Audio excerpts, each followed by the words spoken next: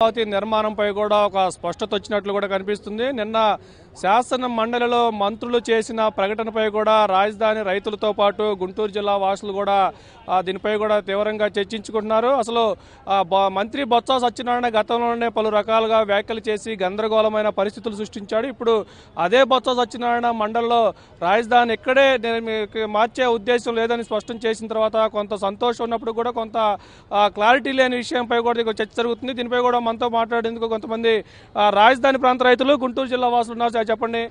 నిన్న శాసన మండలిలో మంత్రి ఇక్కడ రాజధాని మార్చే ఆలోచన లేదు ఇక్కడే ఉంటుందని చెప్తున్నారు.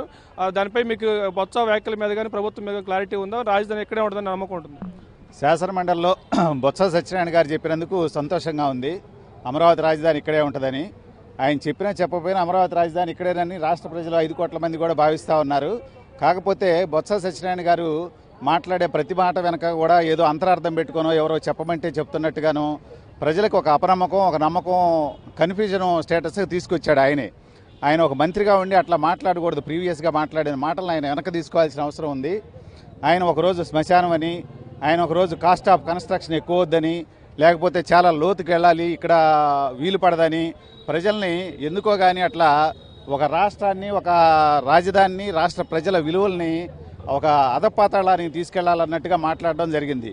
ఆ మాటల మీద కూడా ఆయన వివరణ ఇచ్చుకోవాలి. ఆయన ఎందుకు మాట్లాడాడు? లేకపోతే ఆయన వెనక ఎవరన్నా నుండి మాట్లాడిస్తున్నారా? లేకపోతే ప్రభుత్వాన్ని ఏదైనా దెబ్బతీయాలని ఆయన ప్రయత్నం చేస్తున్నాడేమో అని అనిపిస్తుంది. జనానికి ఇవన్నీ కూడా బయట ప్రజలు డిస్కస్ చేసుకుంటున్నారు. ఆయన వివరణ ఇవ్వాలి? మళ్ళీ ఇవ్వాలా? మళ్ళీ ఒకవేళ ఇప్పుడు ప్రజలు ఎట్లా భావిస్తున్నారంటే బొత్స గారి మాటలది ఏముందిలే? ఆయన ఏదో ఇవాళ ఒకటి చెప్తాడు రేపు ఒకటి చెప్తాడు సాయంత్రం ఒకటి చెప్తాడు. ఇవాళ అవునన్నాడు రేపు కాదనొచ్చు. లేకపోతే ఈ కన్స్ట్రక్షన్ అట్లా ఉంది ఆ కన్స్ట్రక్షన్ ఇట్లా ఉంది. అసెంబ్లీలో కూర్చొని తలనొప్పి వచ్చినందుకు కూడా దానిలో వెంటిలేషన్ లేదనే కారణాన్ని చూపించి ఇది పనికొస్తుందని కాసేపు పనికిరాదని కాసేపు చెప్తా ఉన్నారు. కాబట్టి ఆయన ఓ స్ట్రాంగ్గా ముఖ్యమంత్రి గారు చెప్పాలా? ముఖ్యమంత్రి గారు చెప్తే అప్పుడు ఏదన్నా నమ్మ అమికబుల్గా చెప్తే ఆ నమ్మశక్యంగా ఉంటుంది. ఈయన మాటలను అయితే ప్రజలు హర్షిస్తున్నారు. ఆయనకు ఒక విలువ వస్తుంది. ఆయన మాటలను వెనక్కి తీసుకొని ఆయన దాని మీద వివరణ ఇస్తే బాగుంటుంది. సార్ మీరు చెప్పండి రాజధానికి సంబంధించి మారుస్తాము ఇక్కడ కట్టే ఉద్దేశం లేదని కూడా ఒక గందరగోళమైన పరిస్థితులు చేసిన నేపథ్యంలో ఇప్పుడు ఇక్కడే కడతామని శాసన మండలి స్థాయి సాక్షిగా ప్రకటించారు. ఎందుకు ఇప్పుడు ప్రధానమంత్రి శంకుస్థాపన చేసిన ప్లేస్ ఇది మారిస్తే ఇబ్బంది వచ్చిందనా లేకపోతే ఆర్థిక పరిస్థితులు సమకూర్చక ఆ పరిస్థితి ఉందా? నిజంగా అసలు కాళ్ళకి ఇక్కడ ఉంచాలని ఉద్దేశంతో పెట్టారు. ఇప్పుడు ఏదైనా అమరావతిలో ఉంచుతామనే ప్రకటన అనేది హర్షనికేతం. అయితే ఇక్కడ ఎందుకు ఉంచుతున్నారు ఎందుకు ఈ పరిస్థితి తెచ్చారు అనే దానికి రీజను వాళ్ళ మంత్రి మండలిలోనే వాళ్ళకే లేదు. ఎందుకంటే ఒక్కొక్క మంత్రి ఒక్కొక్క రకంగా ఈ ఆరు నెలల్లో గందరగోళం క్రియేట్ చేశాడు. అయితే ప్రధాని మోడీ శంకుస్థాపన చేయడం బీజేపీ వాళ్ళు కూడా దీన్ని సపోర్ట్ చేయడం ఇక్కడ రాజధాని ఉండాలని ఖచ్చితంగా చెప్పడం సేమ్ టైము ముప్పై మూడు వేల ఎకరాల అది ఒక భూ బ్యాంకు ఆ భూ బ్యాంకుని క్రియేట్ చేసి గవర్నమెంట్కి గత ప్రభుత్వం ఇవ్వడం అనేది కూడా ఈ ప్రభుత్వానికి వరం. అలాంటి అవకాశాన్ని అంటే ఆర్థిక నిధులు నిధులు సమకూర్చేదానికి అదేవిధంగా అంత భూమి ప్రభుత్వానికి చెందడం అనేది కూడా ఒక వరం కాబట్టి దాన్ని వదులుకొని ఇంకో కొత్త ప్లేస్కి ఏ దొనకొండో లేకపోతే రాయలసీమ లేకపోతే విజయనగరమో ఇలా వెళ్ళాలనే కొత్త ప్రయోగాలు చేసేదానికి ఈ ప్రభుత్వానికి ఎక్సర్సైజ్ చేయడానికి ఆర్థికంగా చాలా ఇబ్బందులు ఉన్నాయి. అదేవిధంగా వీళ్ళు స్కీమ్స్ పెట్టారు. ఏది జనాలకి.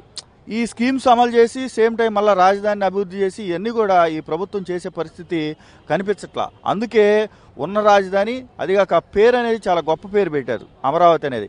అమరావతి పేరు మార్చడం అనేది కూడా జనం హర్షించే పరిస్థితి లేదు. సరే అంతకుముందు ప్రభుత్వం ఆ అమరావతి ప్రకటించిన తర్వాత అక్కడ కొన్ని లోపాలు జరిగినాయి అంటున్నాయి ఏది? అసైన్డ్ ల్యాండ్లు లో ఏదో వాళ్ళకి చెందిన వాళ్ళకి తీసుకున్నారని అవన్నీ. వాటి మీద ఎంక్వైరీలు వేయాలా? ఎంక్వైరీలు వేసి ఆ ఎంక్వైరీలలో ఏదన్నా అవినీతి జరిగినా లేకపోతే అక్రమాలు జరిగిన వాటి మీద ఎంక్వైరీ చేసి వాటి మీద యాక్షన్ తీసుకోవాలని అమరావతిని మార్చాలన్న ఆలోచన అయితే తప్పు. అందుకని ఇప్పటికైనా ప్రభుత్వం కళ్ళు తెరిచి అక్కడ అమరావతి ఉంచుతాం అనడం అనేది చాలా రైతుల్లో అదేవిధంగా రాష్ట్ర ప్రజానీకంలో ఆ హర్ష హర్షం వ్యక్తం అవుతుంది. అయితే గత కొద్ది కాలం నుంచి గ్రేటర్ అమరావతి లేదా వైఎస్ఆర్ మహానగరం అనే పేరుతో ఈ నగరాన్ని విస్తరించాలనేది ఒక సోషల్ మీడియాలో ప్రచారం జరుగుతుంది. అట్లా ఒక వ్యక్తి పేరుతో రాజధాని పెట్టి నిర్మాణం చేపడితే ప్రజలు దాన్ని స్వాగతిస్తారు? అసలు ఈ వైఎస్ఆర్ లేకపోతే ఎన్టీఆర్ లేకపోతే ఈ పేర్లు అనేది చాలా తప్పు. ఎందుకంటే అమరావతి అనేది ఒక చారిత్రకమైన పే- పేరు. అదేవిధంగా రాజులు ఏలిన ప్రాంతం. ఆ ప్రాంతాన్ని బేస్ చేసుకొని అమరావతి అనేది ప్రపంచవ్యాప్తంగా పే పేరు ఉంది అందుకని అమరావతి పేరు ఉంచడం రైట్. మళ్ళా పేర్లు మార్చడం దీని మీద ఒక గందరగోళం క్రియేట్ చేయడం దీన్ని ఒక మళ్ళా ఒక సంవత్సరం దీన్ని ప్రొలాంగ్ చేయడం దీన్ని ఒక వివాదం చేయడం. మొన్న చంద్రబాబు ఏదో ఇది పెట్టాడు రౌండ్ టేబుల్. దానికి పోటీగా ఇంకో రౌండ్ టేబుల్ పెట్టారు. ఇద్దరు రౌండ్ టేబుల్లో ఆయన ఒక తీర్మానాలు చేస్తే దాని వ్యతిరేక తీర్మానం. ఇది కాదు కావాల్సింది. ప్రజానికానికి రైతాంగానికి ఇక్కడ ఉన్న మొత్తం జనానికి అవసరాలు తీర్చాలన్న పోటీ ఉండాలి. అది కాకుండా ఆయన అది అన్నాడు కాబట్టి దానికి వ్యతిరేకంగా నేను మాట్లాడాలనేది కరెక్ట్ కాదు. ఎట్టి పరిస్థితుల్లో అమరావతి అనే పేరు చాలా మంచి పేరు అమరావతి పేరు ఉంచాలనేదే అందరి అభిప్రాయం నా అభిప్రాయం.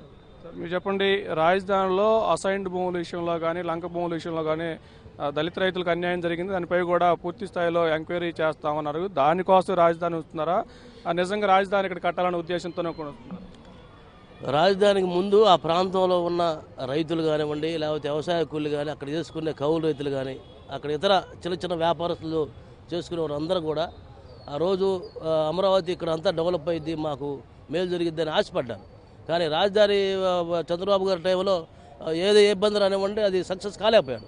కనీసం ఈ ప్రభుత్వం వచ్చిన తర్వాత అయినా ఇప్పుడు అసైన్ బొమ్మ మేము పేదల పక్షాలు ఉంటాం ఎస్సీ ఎస్టీల పక్షాలు ఉంటామని చెప్తున్నారు.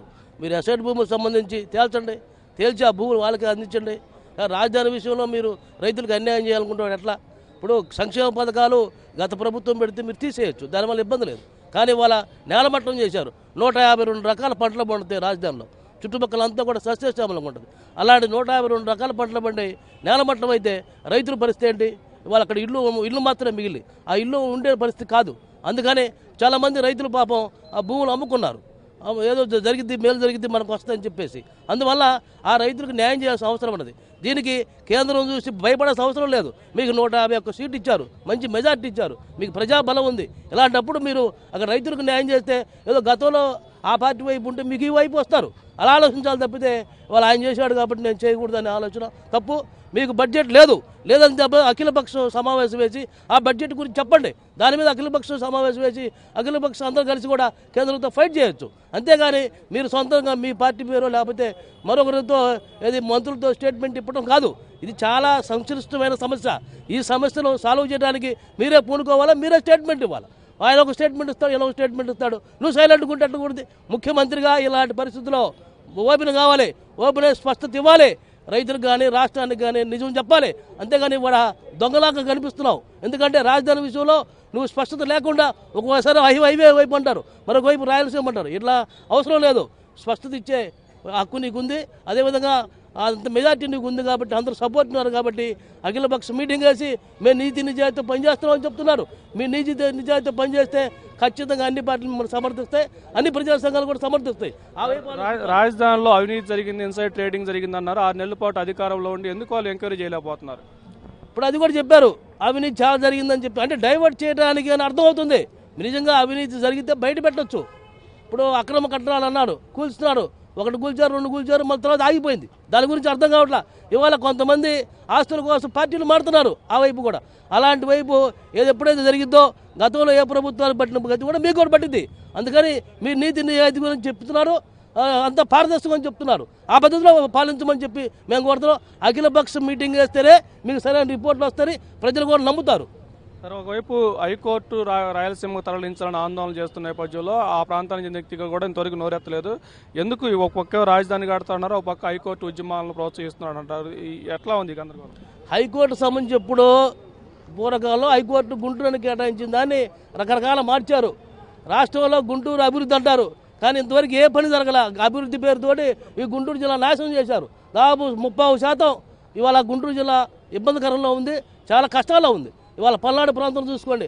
రైతులు ఆత్మహత్యకు పాల్పడే పరిస్థితుంది అంటే ఇలాంటి పరిస్థితుల్లో రాజధానికి సంబంధించి ఇప్పుడైనా ఇది సెంటర్ అని భావించాం. రాష్ట్రంలో గుంటూరు సెంటర్ అనుకునే అందరూ ఏకప్రాయంగా వచ్చారు. అయితే కట్టడాలకు సంబంధించి భారీ ఎత్తున కడతావా చిన్నది కడతావా ఎట్లా కడతావా అనేది బడ్జెట్ బట్టి కేటాయించుకోవాలి. ఇవాళ హైకోర్టు సంబంధించి అవసరం. ఇక్కడ సెంటర్లో ఉంటే అందరూ అన్ని జిల్లాలు రావడానికి అవకాశం ఉంటుంది కాబట్టి హైకోర్టు మాట్లా మార్చాల్సిన అవసరం లేదు. ఎందుకంటే ఇవాళ ప్రతి చిన్న విషయం కూడా ఇవాళ కేసులన్నీ కూడా కొన్ని లక్షలు పెండింగ్లో ఉన్నాయి. అవన్నీ కూడా రాజధాని రావాలి హైకోర్టు రావాలంటే ఇక్కడి నుంచి అటు పోవాలని ఇబ్బందిగా ఉంటుంది. అందరూ ఇష్టపడ్డారు. గుంటూరు అంటే సెంటర్ పాయింట్ కాబట్టి ఇష్టపడ్డారు కాబట్టి హైకోర్టును మార్చాల్సిన అవసరం లేదు. అది ఇక్కడే ఉంచాలి. ప్రధానమైనవి కాబట్టి. సార్ మీరు చెప్పండి ఇప్పుడు మండలంలో నిన్న రాజధాని మార్చే ఉద్దేశాలు అని చెప్పారు. ఇప్పటికైనా ఈ క్రయ విక్రయాలు ప్రారంభం కావటం కానీ నిర్మాణాలు ప్రారంభం అవుతాయని మీకు ఏమైనా నమ్మకం అన్ని రివర్స్ టెండర్లు చేసి చేస్తున్నారు గవర్నమెంట్. అదేందో తేల్చి రివర్స్ టెండర్లు చేసి త్వరగా అన్ని నిర్మాణాలు చేస్తే రాజధాని చాలా త్వ- త్వరగా పూర్తయింది దీని ప్రకారం కేంద్రం నుంచి కూడా నిధులు తెచ్చుకొని రాజధాని చేస్తే అందరికీ ఆమోదయోగ్యంగా ఉంటుందని మేము కోరుకుంటున్నాం. అంటే గతంలో ఐదు సంవత్సరాల్లో చూసుకుంటే రాజధాని మొత్తం ఒక తిరణాల మాదిరిగా పనులు జరిగాయి. ఇప్పుడు ఆ పరిస్థితి లేదు. ఇప్పుడు ఇక్కడ నుంచి దాని మీద ప్రకటనలకే పరిమితం అవుతుందా? ఆ నిర్మాణాలు మొత్తం ప్రారంభం అవటం క్రయ విక్రయాలు అమ్మకాలు కొంటాలు ప్రారంభమవుతాయను అదే వీ వీళ్ళుగా గవర్నమెంట్ కానీ అక్కడ కన్స్ట్రక్షన్ కానీ స్టార్ట్ చేస్తే అన్నీ కూడా మామూలుగా వచ్చేసేస్తాయండి. అట్లా రావాలని మా ప్రజలందరూ కోరుకుంటున్నాము సార్ పెద్దన్న మీరు చెప్పండి రాజధాని మార్చే ఉద్దేశం లేదని నిన్న ప్రకటన చేశారు కదా రాజధాని ఇక్కడే ఇంకా నిర్మాణం వేగంగా సాగుద్దని నమ్మకం కలుగుతుంది మీకు. ప్రస్తుతానికండి అమరావతి అనే పేరే రాజధానికి ఒక ప్రాధాన్యమైనది. రెండోది ఏంటంటే వీళ్ళు ఇయ్యాలి చెప్పడం కాదు. ప్రస్తుతానికి మన మ్యాప్లోనే కలిపేశారు సెంటర్లోనే ఇవాళ ఇన్నాంచి వాగి వాగి బొత్స ఆడలేదు ఏడు నేల పనికిరాదు యాభై అడుగులు పోవాలి వంద అడుగులు పోవాలి. ఇంతకుముందు ఊళ్ళన్నీ కట్టిన ప్రదేశమే కదా ఆడ జనమంతా నివసించే ప్రదేశమే కదా.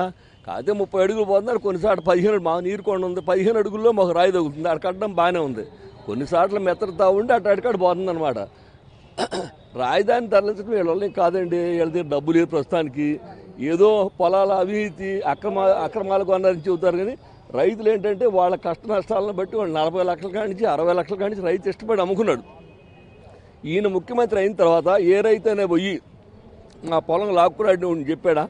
మాకు ఇష్టమయ్యి మాకు అనుకోవడాన్ని బట్టి మా పొలం మేము అమ్ముకున్నాం. అవినీతి అవినీతి అవినీతి అని ఓరికి గోల్ చేయడమే కానీ ఎవడు అవినీతి? ప్రపంచానికి మొత్తానికి తెలిసింది ఎవడు అవినీతి అయింది కూడా. నలభై ఏడు వేల నలభై ఏడు వేల కుంభకోణంలో నువ్వుండి కేసుల్లో దేశాన్ని ఎవడు అవినీతి ఎవడు అవినీతి అనడం చాలా తప్పండి అది. అవినీతి అసలు లేదు. రైతుకి ఇష్టమై నలభై లక్షలకు యాభై లక్షలకు అమ్ముకున్నాడు. ఏదో తను చేసి తను పెట్టిన కార్యక్రమాలన్నీ మార్చి ఈయన పేరు పెట్టుకోవాలని కొన్ని కొన్ని మార్చేసిన స్వలాభంగా ఈయన చూసుకోవడమే కానీ ఇవన్నీ సాధ్యపడేవి కదండి. బొత్స సత్యనారాయణ పూటకో మాట్లాడతాడు ఈయన చెప్పకపోతే అంతకుముందు ఇరవై రోజుల నాడే సెంటర్లో మ్యాప్లో కలిపారు జనానికి అందరికీ తెలిసింది. ఇవాళ రాజధాని ఈయన చెప్పేంది? సార్ మీరు చెప్పండి. ఇప్పుడు నిన్న బొత్స సత్యనారాయణ గారు స్టేట్మెంట్ ఇచ్చారు. ఈ రాజధాని ఇక్కడే మార్చే ఉద్దేశం లేదని చెప్తున్నారు. ఇప్పటికైనా ఈ రాజధాని రైతుల్లో నమ్మకం కలుగుతుందా? ఇప్పుడు జీఎన్ రావు లాంటి కమిటీ వేశారు. వాటి పరిస్థితి ఏంటి? ముందుల టీడీపీ ఎమ్మెల్యేలు నిన్న శాసన మండలి అడిగిన దానికి సమానం చెప్పిన బొత్స సత్యనారాయణ గారు అదే ఆరు నెలల నుంచి కూడా స్పష్టత చెప్పినట్టయితే ఎంతో నమ్మేవాడు బొత్స గారిని కూడా. ఎందుకంటే రాజకీయంగా అనుభవం గల నాయకుడు. పుష్టి నుంచి కూడా ఏదో రకరకాలుగా నిందులు వేసాడు ఆయన. చివరికి నిన్న శాసన మండలిలో లబ్ధి లబ్ధిపూర్వకంగా కాగితం రూపంగా నిన్న ఇచ్చారు. రాజధానికి మేము అనుకూలమే రాజధాని అడిగిపోదని. అయినా కూడా మేము సంతోషపడుతున్నాం. ఎందుకంటే అలా ఈయటం కూడా మా రాజధాని రైతుల్లో కూడా ఎందుకంటే శాసన మండలిలో ఇయటం అనేది ఒక శుభాన్యాయమే అట్లానే శాసనసభలో కూడా మన ముఖ్యమంత్రి గారి ద్వారా కూడా ఓ ప్రకటన వస్తే ఎంతో సంతోషపడతారు. ఎందుకంటే కమిటీలు వేశారు. జియాల కమిటీ ఆ కమిటీ కమిటీలన్నీ కూడా వెనక్కి తీసేసుకోవాలి. ఎందుకంటే ఇవన్నీ జనాల్లో మనోభావాలను ఒకరినొకరు రెచ్చగొట్టి కులాలని మతాలని తత్వాలు తీసుకొచ్చి తీసుకొచ్చే పద్ధతి మానుకొని అభివృద్ధి చేసుకుంటూ పోతే ఇవాళ ఇదే రాజధాని అభివృద్ధి చేస్తే ఇవాళ అన్నిటికీ డబ్బులు వచ్చాయి. రాష్ట్రం అంతా స్పీడ్గా స్పీడ్గా ఉండేది. అన్ని రివర్స్ స్టాండ్లు అన్నారు. రివర్స్ స్టాండ్ అంటే తగ్గించి చేయడమే కదా. రివర్స్ టెండర్ కూడా రేపు ఆ తగ్గించి నా పనిలో నాణ్యత లోపిస్తే భారీ భావితర భవిష్యత్తు కోసం ఉంచుకోవాలి కానీ ఏదో కొద్ది రోజుల కోసం ఉంచుకొని నామకా కోసం మీరు రివర్స్ టెండర్ అని చెప్పేది కూడా పద్ధతి కాదు. కంట్రాల్ చేత పని చేయించండి దగ్గరుండి. అవినీతి జరిగితే అవినీతి చేసిన వాళ్ళని శిక్షించండి. అంతేగాని ఎన్ని రివర్స్ టెండర్ అని చెప్పి అంటే ఇవాళ పోలవరం ఆరు నెలల నుంచి ఆపారు. ఎంత నష్టం వచ్చింది? అటానే రాజధాని రాజధాని ఆరు నెలల నుంచి ఏడు నెలల నుంచి చెంచా మట్టే లేదు ఇప్పుడు మట్టిది లేదు అదే చేసి ఉండి రాష్ట్రానికి ఆర్థిక పరిస్థితి ఆర్థిక పరిస్థితి బాగుండేది. ఎంతో ముందర దూసిపోయేది ఆంధ్రప్రదేశ్ అంటే అమరావతి చరిత్రలో నిలిపారు. మన మేము రాజధాని రైతులుగా కూడా మేము ఎంతో గౌరవించి భూమి ఇచ్చాం. రాజధానికి అనే దానికి ఇచ్చాం కానీ ఒక పార్టీ కాదని చెప్పి మేము రాజధాని రైతులు మొత్తుకున్నాం అదే స్ఫూర్తితో పోవాలి కానీ కులమో భావమో మనుషులు అని చెప్పి కూడా ఆలోచించకుండా ప్రభుత్వం ముఖ్యమంత్రి గారు కూడా ఎమ్మటే రాజధాని గురించి అసెంబ్లీలో చెప్తే మేము ఎంతో సంతోషిస్తాం. నేను బొత్త గారు చెప్పిన దానికి కూడా సంతోషమేను. ఇవాళ రేపు ముఖ్యమంత్రి గారు కూడా చెప్తే కూడా ఎందుకంటే మేము అందరం కూడా సంతోషంగా రాయదానికి అనే దానికి అభివృద్ధి కోసం ఇచ్చాం కానీ ఎవరు మా స్వభావ స్వభావాలకు కాదు ఏ వ్యక్తి గురించి కూడా కాదు. అది ఒకటి గుర్తుపెట్టుకొని ముందరకు అభివృద్ధి పనులు మొదలు ఇప్పుడైనా మొదలయ్యాలని చెప్పి కోరుకుంటూ మా రాజధాని రైతు రైతుల తరపున కోరుకుంటున్నాను నేను. మీరు చెప్పండి గత ప్రభుత్వంలో దళితులకు అన్యాయం జరిగింది ఆ, ఇన్సైడ్ ట్రేడింగ్ జరిగింది అవినీతి జరిగిందని చెప్తున్నారు. ఆరు నెలల పాటు వాళ్ళు ఎందుకు అసలు దాని మీద చర్యలు తీసుకోలేకపోతున్నారు? ఈ ప్రభుత్వం అయినా న్యాయం చేసిందని నమ్మకం ఉంది? ఇప్పుడు గత మేము భవన కార్మికుల తరపున మరి గత ఆరు నెలల నుంచి మాకు ఇసుక పనులు లేక వర్కర్స్ వర్క్ వర్క్ లేక ఇబ్బంది పడుతున్నాం. అదేవిధంగా ఇసుక అనేది వర్షం అనేది ఒక కారణం చెప్తున్నారు. ఇసుక ముందు కూడా వర్షం ముందు కూడా తీసేయడానికి చాలా అవకాశాలు ఉన్నాయి. అవి తీయలేదు. వర్కర్స్కి పని కూడా కల్పించడానికి చాలా ఉంది. కన్స్ట్రక్షన్ వలన పనులు బిల్ బిల్డర్ అనేవాళ్ళు వర్క్ చేస్తే మరి వర్కర్స్ అందరూ కూడా పని జరిగింది మరి పండగ టయాల్లో కూడా పనులు లేక చాలామంది మేము కుటుంబాలు ఆర్థికంగా ఇబ్బంది పడుతున్నాము. అదేవిధంగా రాజధానిలో ఉన్న సుతేహాను మరి చంద్రబాబు గారు పదిహేడు ప- పది ఎకరాలు పెట్టి మరి అక్కడ లైబ్రరీ అంబేద్కర్ సుతేహానం కట్టారు. దాన్ని అక్కడ నుంచి మారిస్తే మాత్రం దళితులందరూ కూడా వ్యతిరేకిస్తారు. ఎందుకంటే రాజధానికి అంబే అక్కడ అసెంబ్లీ హైకోర్టు అన్నీ కూడా ఉన్నాయి కాబట్టి అది డెవలప్మెంట్ ఉంటుంది. అది తీసుకొచ్చి అక్కడ మాకు నిన్న వచ్చిన సమాచారం ప్రకారం ఏంటంటే మానవ సరోవరం దగ్గర తెచ్చి పెడతామంటున్నారు. దాన్ని మేము తీవ్రంగా ఖండిస్తున్నాము. రాజధానిలో ఉంచాలి రాజధానిలోనే దాన్ని సుతేహానం. ఏదైతే దానికి పెట్టిన నిధులు అన్నీ కూడా కేటాయించిన నిధులు పక్కదావ పెట్టినా కూడా దళితులందరూ కూడా దేశవ్యాప్తంగా ఒకటవుతారని మేము తెలియజేస్తున్నాం. అదేవిధంగా కార్మికులు భవన కార్మికులకు కూడా మరి చంద్ర జగన్ గారు మాకు ఎంతమందో లాయర్లకి ఎన్నో పథకాలు పెట్టి ఒక్కొక్కరికి పదివేలు ఇరవై వేలు ఇచ్చారు. అదేవిధంగా రాష్ట్రంలో ఉన్న భవన కార్మికులందరూ కూడా ఆరు నెలల నుంచి ఇబ్బందులు పడే కుటుంబాలు చి- చిందాభిన్నం అవుతుంది. మాకు కూడా భవన కార్మికులకు కూడా ఎంతో కొంత మరి కేటాయించాలని మేము నిర్ణయించుకొని భవన కార్మికుల తరఫున తెలియజేస్తూ మా ఆర్థిక సంక్షోభాన్ని తెలియజేస్తున్నాం. ఇది మొత్తానికి నిన్న అసెంబ్లీలో మంత్రి బొత్స సత్యనారాయణ రాజధానిపై చేసిన ప్రకటనపై కూడా రాజధాని రైతులతో పాటు గుంటూరు జిల్లా వాసులు కూడా సంతోషం వ్యక్తం చేస్తున్నారు. అయితే బొత్స సత్యనారాయణతో పాటు సీఎం జగన్మోహన్ రెడ్డి కూడా అసెంబ్లీలోనే ఇదే రకమైన ప్రకటన చేస్తే రైతు కుటుంబాలు ఇంకా సంతోషంగా ఉంటాయి. రాజధాని నిర్మాణాలు ఇప్పటివరకు ఆరు నెలల పాటు ఒక్క అడుగు కూడా ముందుకు కదలకుండా ఆ రాజధాని నిర్మాణ విషయంగా ఉంది. ఆ నిర్మాణాలు కూడా ప్రారంభిస్తే రాజధాని మొత్తం కూడా కలకల్లాడుతుంది. ఆ ప్రభుత్వానికి క్రయ విక్రయాల ద్వారా కూడా ప్రభుత్వానికి ఆదాయం వస్తుంది. ఒక రకమైన రాష్ట్ర ప్రజలకి భరోసా కూడా కలుపుతుంది. రాష్ట్రానికి రాజధాని కూడా నిర్మాణం అవుతుందనే కూడా ఒక నమ్మకం వస్తుంది కాబట్టి పెట్టుబడులు కూడా వస్తాయి. దీనిపై కూడా సీఎం వెంటనే స్పష్టమైన ప్రకటన చేయాలి. అదేవిధంగా స్మృతివనం కూడా అంబేద్కర్ స్మృతివనం కూడా ఆ, గుంటూరు నగర శివారికి తరలించే ఏర్పాట్లు కూడా మానుకొని అమరావతిలోనే గత ప్రభుత్వం చంద్రబాబు నాయుడు ఎక్కడైతే శంకుస్థాపన చేసి స్థలం కేటాయించాడో అక్కడే దానిని నిర్మాణం చేపట్టాలని కూడా ఒకవైపు దళిత సంఘాలు దళిత రైతుల నుంచి కూడా డిమాండ్ వస్తుంది. మరి వీటన్నిటిపై కూడా ఒక పూర్తి స్థాయి స్పష్టత వస్తే పూర్తి స్థాయి నమ్మకం కలుగుతుందని కూడా మరి దీనిపై కూడా జగన్ కానీ రాష్ట్ర ప్రభుత్వం కానీ ఎలాంటి ప్రకటన చేస్తుంది ఎలాంటి పురోగతి ముందుకు సాగిస్తుందని కూడా వేచి చూడాల్సిన అవసరం ఉంది. ఇది మొత్తానికి గుంటూరు జిల్లాలోని రైతుల మనోభావాలు ఓటో స్టూడియోస్.